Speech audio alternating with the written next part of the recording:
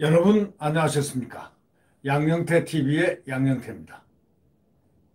먼저 어, 구독 버튼과 엄지를 눌러주시면 감사하겠습니다. 이 진중권 교수가 어, 협동조합 하우스에서 무슨 강연을 했는데 문과 트럼프의 공통점이 있다 하면서 거짓말로 지지층을 결집시키는 뭐 이런 것이 있다 이런 말을 했습니다. 그러면서 어, 이 진중권 교수가 국회의원 연구단체인 국민미래포럼 세미나 그 대표위원은 국민의힘 황보승희 의원이 국민의당 권은희 의원에서 어, 거기에서 탈진 탈지실의 시대라는 주제로 어, 진중권 교수가 강연을 했는데 이 협동조합 하우스 중앙홀 거기서 열린 이날 강연에서 진 교수는 이런 얘기를 했습니다. 기술과 상상력을 합친 소위 기술적 상상력이 바로 권력이 됐다. 이러면서 기술적 상상력을 선용의 유토피아를 만들지 않고 과거 사건을 왜곡, 거짓말해서 그런데 활용해가지고 오늘날 디스토피아를 실현했다. 이런 어, 어, 철학적인 말을 이용해서 유토피아의 반대인 디스토피아를 실현했다.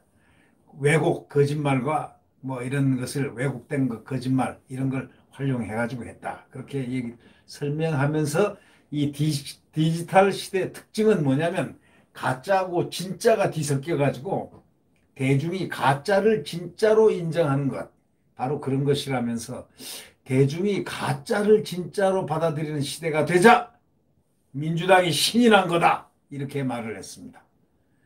민주당은 허구를 만들어 놓고는 이 허구를 현실화한다고 했다. 이렇게 말을 했습니다. 진 교수는 대중은 거짓일, 거짓일지라도 거짓말을 더 믿고 싶어 한다고 했습니다. 이 대중은 재밌는 이야기, 듣기 좋은 허구를 원할 뿐 사실은 불편해 한다고 설명을 했습니다. 이 때문에 대중은 뉴스를 문화 콘텐츠로 여기고 뉴스를 만들어낼 수도 있다. 이렇게 생각한다고 했죠. 예, 진 교수는 과거에는 기자들의 거짓말이 들통이 나면 문제가 됐는데 지금은 오히려 후원을 받는다는 겁니다.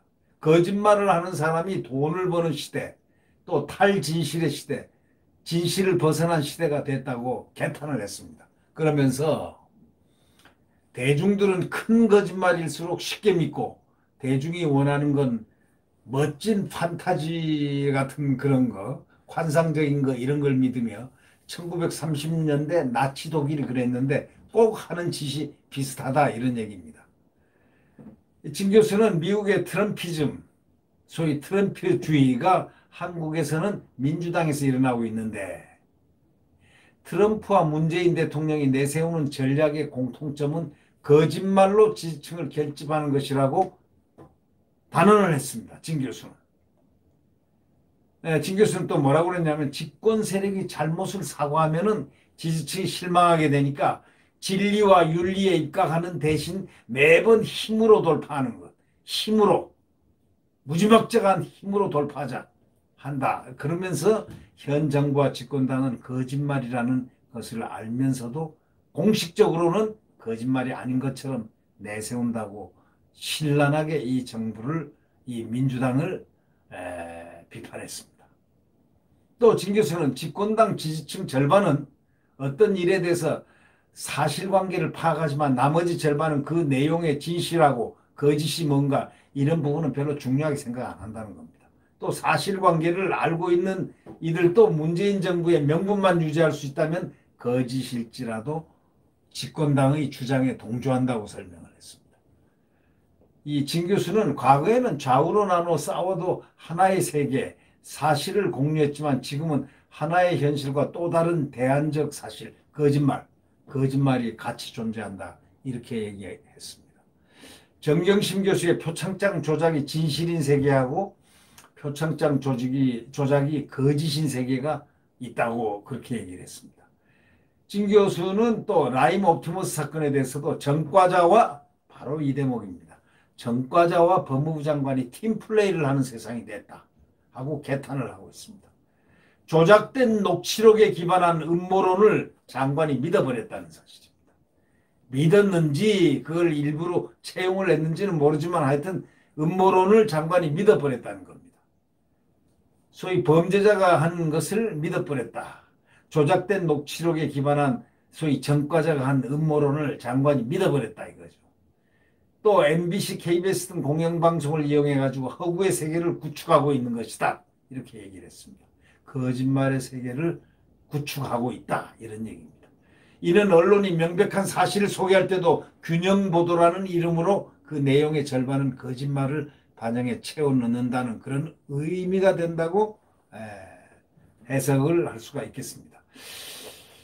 에, 진 교수는 여당의 콘크리트 지지층이 대한 현실을 바탕으로 한다고 소위 거짓말의 현실을 바탕으로 한다고 했습니다.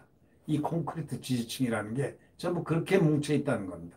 집권 세력은 개별적 사실보다는 게임 시나리오처럼 일종의 세계관으로 대중을 사로잡고 대중은 이 시나리오에 따라서 판단한다고 설명을 또 이어갔습니다. 진중권 교수는 야당이 개별적 사실을 갖고 현 집권 세력과 싸우면 질 수밖에 없다고 했습니다. 이 싸움에서 이기기 위해서 상대의 프레임 자체를 드러내버려야 한다고 어, 그렇게 주장을 했다는 것입니다. 결국 네, 진 교수가 중요하게 생각하는 것은 이 법무부 장관과 전과자가 한 팀이 돼가지고 팀 플레이를 하는 세상이 돼서 이 세상이 얼마나 개탄스럽고 위험한 세상인가 이거를 갖다가 아, 강연을 했습니다 국회의원들 앞에서 정말 이 추미애 법무부 장관이 우리나라에 끼친 앞으로 영향 정치 사회 문화 제반 국민들에게 고통을 준 정신적인 고통을 준 그런 부분의 문제는 한 번쯤 걸러내고 분석될 필요가 있다. 저는 그렇게 생각합니다. 네. 구독 버튼과 엄지를 눌러주시면 감사하겠습니다.